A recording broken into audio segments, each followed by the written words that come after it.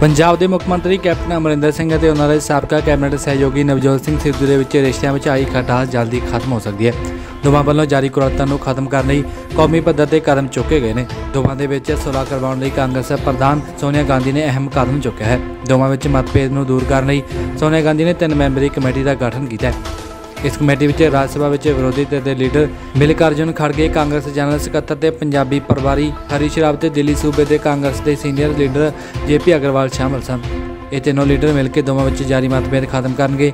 ਇਸ ਦੌਰਾਨ ਇਹ ਤਿੰਨੇ ਲੀਡਰ ਕੈਪਟਨ ਅਮਰਿੰਦਰ ਸਿੰਘ ਤੇ ਨਵਜੋਤ ਸਿੰਘ ਸਿੱਧੂ ਦਾ ਪੱਖ ਜਾਣਨਗੇ ਤੇ ਵਿਵਾਦ ਖਤਮ ਕਰਵਾਉਣਗੇ। ਸੋਨੀਆ ਗਾਂਧੀ ਵੱਲੋਂ ਗਠਿਤ ਕਮੇਟੀ ਸੂਬੇ ਵਿੱਚ 2022 ਦੇ ਵਿਧਾਨ ਸਭਾ ਚੋਣਾਂ ਤੋਂ ਪਹਿਲਾਂ ਕਾਂਗਰਸ ਪਾਰਟੀ ਦੇ ਅੰਦਰੂਨੀ ਕਲਿਸ਼ ਬਾਰੇ ਜਾਣਕਾਰੀ ਹਾਸਲ ਕਰੇਗੀ ਅਤੇ ਇਸ ਨੂੰ ਸਿਖਰਲੇ ਪੱਧਰ ਤੇ ਇਸ ਬਾਰੇ ਜਾਣਕਾਰੀ ਦੇਵੇਗੀ। ਕਮੇਟੀ ਦੇ ਐਲਾਨ ਤੋਂ ਬਾਅਦ ਉੱਤਰਾਖੰਡ ਦੇ ਸਾਬਕਾ ਮੁੱਖ ਮੰਤਰੀ ਹਰੀਸ਼ ਰਾਵਤ ਨੇ ਕਿਹਾ ਕਿ ਪੈਨਲ ਨੂੰ ਪੰਜਾਬ 'ਚ ਪਾਰਟੀ ਦੇ ਸਰਕਾਰ ਨੂੰ ਮਜ਼ਬੂਤ ਕਰਨ ਦੇ ਨਾਲ-ਨਾਲ ਸੂਬੇ ਵਿੱਚ ਪਾਰਟੀ ਦੇ ਲੀਡਰਾਂ ਦੇ ਵਿੱਚ ਵਿਵਾਦ ਹੱਲ ਕਰਨ ਲਈ ਉਹਨਾਂ ਨੂੰ ਕੰਮ ਸੌਂਪਿਆ ਗਿਆ ਹੈ।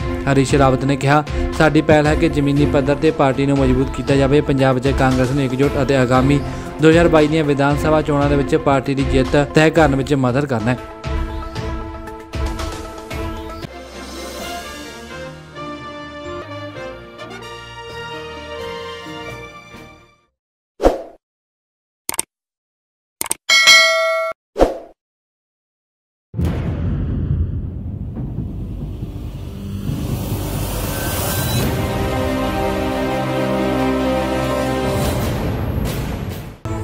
ਪੰਜਾਬ ਦੇ ਮੁੱਖ ਮੰਤਰੀ ਕੈਪਟਨ ਅਮਰਿੰਦਰ ਸਿੰਘ ਅਤੇ ਉਹਨਾਂ ਦੇ ਸਾਬਕਾ ਕੈਬਨਿਟ ਸਹਿਯੋਗੀ ਨਵਜੋਤ ਸਿੰਘ ਸਿੱਧੂ ਦੇ ਵਿੱਚ ਰਿਸ਼ਤਿਆਂ ਵਿੱਚ ਆਈ ਖਟਾਸ ਜਲਦੀ ਖਤਮ ਹੋ ਸਕਦੀ ਹੈ।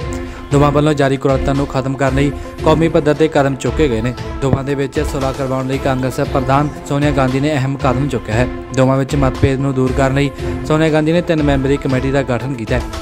ਇਸ ਕਮੇਟੀ ਵਿੱਚ ਰਾਜ ਸਭਾ ਵਿੱਚ ਵਿਰੋਧੀ ਧਿਰ ਦੇ ਲੀਡਰ ਮਲਿਕਾਰਜੁਨ ਖੜਗੇ, ਕਾਂਗਰਸ ਜਨਰਲ ਸਕੱਤਰ ਤੇ ਪੰਜਾਬੀ ਪ੍ਰਵਾਰੀ ਹਰੀਸ਼ ਰਾਵਤ ਤੇ ਦਿੱਲੀ ਸੂਬੇ ਦੇ ਕਾਂਗਰਸ ਦੇ ਸੀਨੀਅਰ ਲੀਡਰ ਜੇਪੀ ਅਗਰਵਾਲ ਸ਼ਾਮਲ ਸਨ।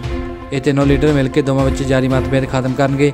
ਇਸ ਦੌਰਾਨ ਇਹ ਤਿੰਨੇ ਲੀਡਰ ਕੈਪਟਨ ਅਮਰਿੰਦਰ ਸਿੰਘ ਤੇ ਨਵਜੋਤ ਸਿੰਘ ਸਿੱਧੂ ਦਾ ਪੱਖ ਜਾਣਨਗੇ ਤੇ ਵਿਵਾਦ ਖਤਮ ਕਰਵਾਉਣਗੇ। ਸੋਨੀਆ ਗਾਂਧੀ ਵੱਲੋਂ ਗਠਿਤ ਕਮੇਟੀ ਸੂਬੇ ਵਿੱਚ 2022 ਦੇ ਵਿਧਾਨ ਸਭਾ ਚੋਣਾਂ ਤੋਂ ਪਹਿਲਾਂ ਕਾਂਗਰਸ ਪਾਰਟੀ ਦੇ ਅੰਦਰੂਨੀ ਕਲੇਸ਼ ਬਾਰੇ ਜਾਣਕਾਰੀ ਹਾਸਲ ਕਰੇਗੀ ਅਤੇ ਇਸ ਨੂੰ ਸਿਖਰਲੇ ਪੱਧਰ ਤੇ ਇਸ ਬਾਰੇ ਜਾਣਕਾਰੀ ਦੇਵੇਗੀ। ਕਮੇਟੀ ਦੇ ਐਲਾਨ ਤੋਂ ਬਾਅਦ ਉੱਤਰਾਖੰਡ ਦੇ ਸਾਬਕਾ ਮੁੱਖ ਮੰਤਰੀ ਹਰੀਸ਼ ਰਾਵਤ ਨੇ ਕਿਹਾ ਕਿ ਪੈਨਲ ਨੂੰ ਪੰਜਾਬ 'ਚ ਪਾਰਟੀ ਦੇ ਸਰਕਾਰ ਨੂੰ ਮਜ਼ਬੂਤ ਕਰਨ ਦੇ ਨਾਲ-ਨਾਲ ਸੂਬੇ ਵਿੱਚ ਪਾਰਟੀ ਦੇ ਲੀਡਰਾਂ ਦੇ ਵਿੱਚ ਵਿਵਾਦ ਹੱਲ ਕਰਨ ਲਈ ਉਹਨਾਂ ਨੂੰ ਕੰਮ ਸੌਂਪਿਆ ਗਿਆ ਹੈ। ਹਰੀਸ਼ ਰਾਵਤ ਨੇ ਕਿਹਾ, ਸਾਡੀ ਪਹਿਲ ਹੈ ਕਿ ਜ਼ਮੀਨੀ ਪੱਧਰ ਤੇ ਪਾਰਟੀ ਨੂੰ ਮਜ਼ਬੂਤ ਕੀਤਾ ਜਾਵੇ। ਪੰਜਾਬ 'ਚ ਕਾਂਗਰਸ ਨੂੰ ਇਕਜੁੱਟ ਅਤੇ ਆਗਾਮੀ 2022 ਦੀਆਂ ਵਿਧਾਨ ਸਭਾ ਚੋਣਾਂ ਦੇ ਵਿੱਚ ਪਾਰਟੀ ਦੀ ਜਿੱਤ ਤੈਅ ਕਰਨ ਵਿੱਚ ਮਦਦ ਕਰਨਾ ਹੈ।